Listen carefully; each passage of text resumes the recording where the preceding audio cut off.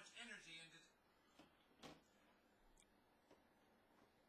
he is um okay looking at the heavyweight division it's crazy because i just did the Dillian Whyte fight so i don't want this video to be um another video talking about like the whole heavyweight division as a whole but he is like Dillian like Dillian Whyte on the outside looking in but his resume is better than better than Dillian Whyte by two fights i guess you know, because um, Dillian Whyte has um, Derek Chisora, you know, um, Anthony Joshua, um, Bryant Jennings has Luis Ortiz, you know, a fighter that a lot of people, all the heavyweights wouldn't afford at that time, at, the, at that point in time. Um, and uh, a super fight with Vladimir Klitschko, you know, and then Artur Szpilka. So he's got, you know, like the, the, the resume's better, but the inactivity.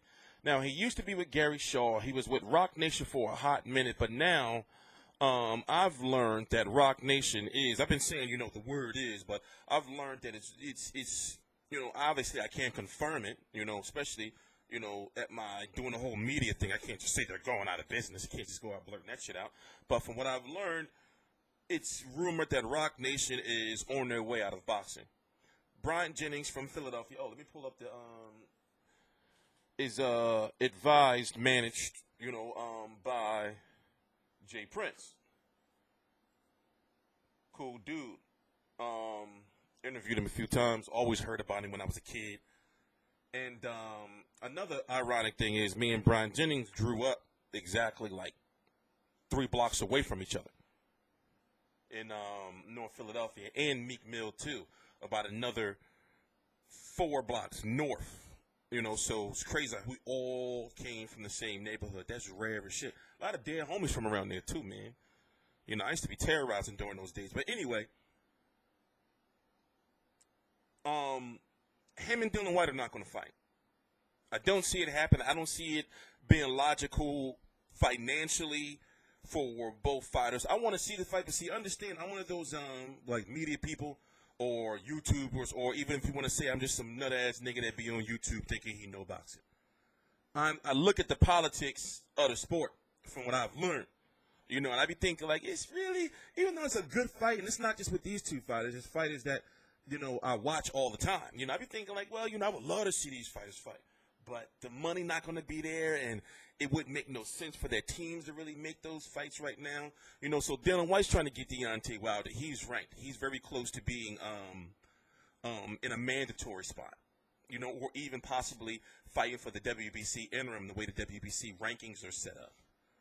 With with Pulev possibly fighting, um, with, with Pulev fighting Anthony Joshua, Luis Ortiz possibly fighting um, Deontay Wilder, Bermane Stiverne being the mandatory, so therefore you have Dillian Whyte, who's like number five, and the way the WBC rules work. Also, I know the rules of the organizations, so a lot of that's why if you if you ever see me interview people, like they can't put nothing by me like they do with these casual ass, you know, um, hobby hobby you know, um, uh, boxing fans. I take that shit seriously, you know. So I don't just be, you know, asking dumbass shit, you know. So I be knowing about the rules and the ranking. That's why a lot of times boxers they always going to tell you the same shit. You know, they're not going to, you know, and, and then they don't know that you know like the deal because they so used to talking to casual boxing media reporters. But basically, long story short, you know, certain shit can't fly by me like that. So, um, Dillian Whyte is in a situation where if all that happens, he could be ordered to fight Bermane Stiverne for that WBC interim if Bermane Stiverne takes step aside money and Deontay Wilder fights Luis Ortiz. You see what I'm saying? Bryant Jennings is in search of a ranking now. Now, one, here's the thing where people don't understand this because, like I said many times before, everything I talk about in my videos, you can go look shit up yourself. I just don't be saying this shit. Top Rank is a very thoroughly run organization. Like they're one of those organizations that um like and, and, me knowing from the media end of things now, like the way press releases are handled, press events are handled, you know, um um just the the, the, the way their platforms, social media, everything is set up. They are they are very thoroughly organized and run. I'm not stupid, you know, and I get insulted because people say, you always take enough for Bob Arum. No, I respect the business of the way things are set up.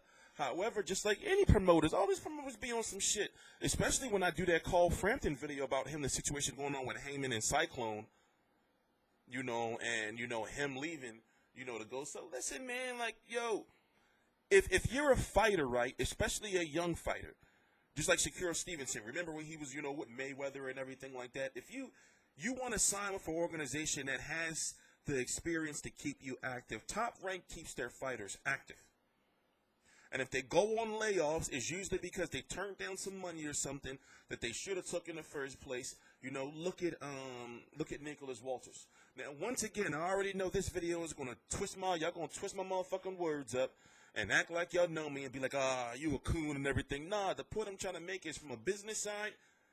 In this boxing landscape right now, signing signing with Haymon is not really the best thing to do like it was you know, two, three years ago. It's not.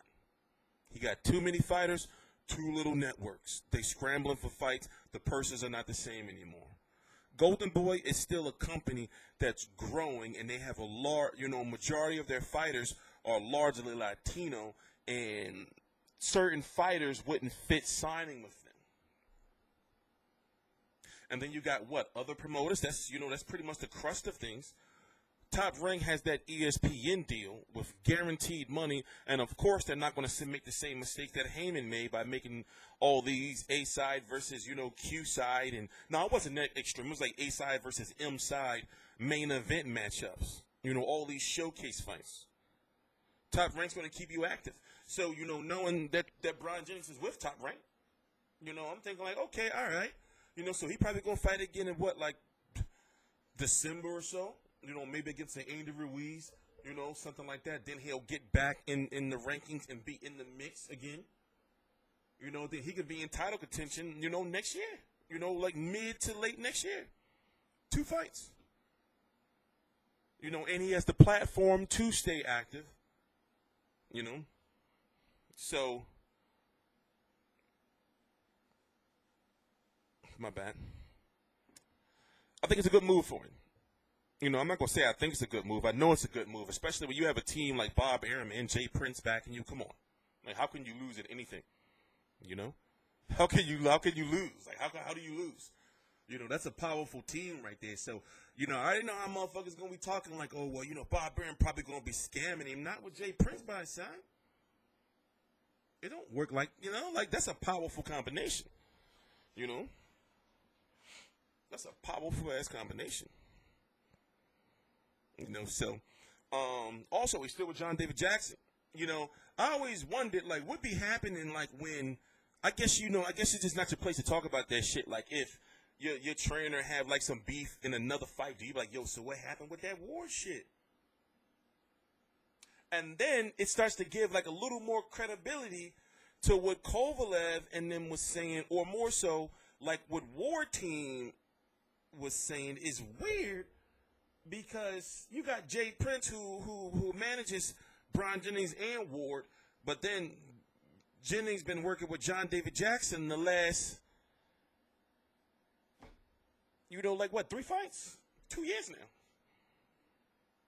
You know so I mean what two fights this is the third one or the second one? I don't know if he was was he working with him for Klitschko? I don't remember. I don't remember. I don't remember did he have Jenkins for Klitschko? I think he did. I think he did. I don't remember. I think he did. Yup, he did. I believe he did. I don't know. But yeah, man, them TstreeT controversies. I didn't even tell you the guy he fought and who he knocked out. Some uh, Martz guy, you know, um, he pretty much just went out there and um, bum rushed him. You know, it was a comeback fight. So what do you expect? I mean, I was a little bit worried, you know, because uh, uh, Jennings keeps his hands down. You know, he keeps his um you know, hands down. But it's like I can't, I couldn't really judge because it's like, all right, well, I understand he want to go the distance with this dude, but it was one clean shot he caught. I was like, oh, bro, don't come back, you know, because you be scared for certain fighters. You know, they'll come back, you know, and then you know get knocked the fuck out by like some journeyman. And it's like, damn, like look at Yuriorkis Gamboa a couple weeks ago, and the fight he almost lost a couple weeks ago, last weekend, in fact. You know, um, and then the fight before against Robinson uh, Castellanos you know, he lost, you know, to Journeyman. So, you know, you'd be scared when these fighters be coming back off these long layoffs, man.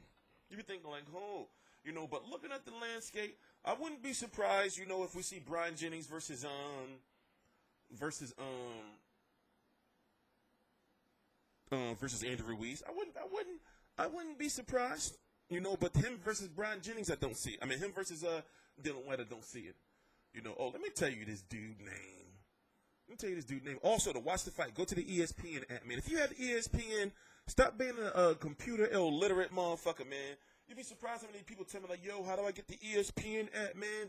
Yo, do you got ESPN at home? Yeah, motherfucker, you got the ESPN app. Download the shit. Call your cable company or whoever it is, or whoever paying your fucking cable bill, and ask them for the fucking email login. Voila, you have ESPN on your phone, on your tablet, and it's a nice ass app. You can watch the fights now if you have the ESPN app. Like they're saved on on there. Go like download. It's called ESPN Watch. Download ESPN Watch. You know, and um and um go to where it says sports, and then go to boxing, and you'll see it's right there. It's like three hours long or some shit. It's the undercard you know, all the way up until where the main card, Crawford and Dunkel, started at uh, 10 p.m. on ESPN. You know, so the last fight I believe on the card was the Mike Alvarado card. But yo, the card was the card was nice as far as you know it being exciting. You seeing people get beat the fuck up. You know, Mike Alvarado. Yo, it was some nice knockouts. The Dillian Whyte fight was funny and shit. BY did the next fight, knocked dude the fuck out, made left this big ass red ass mark on dude forehead.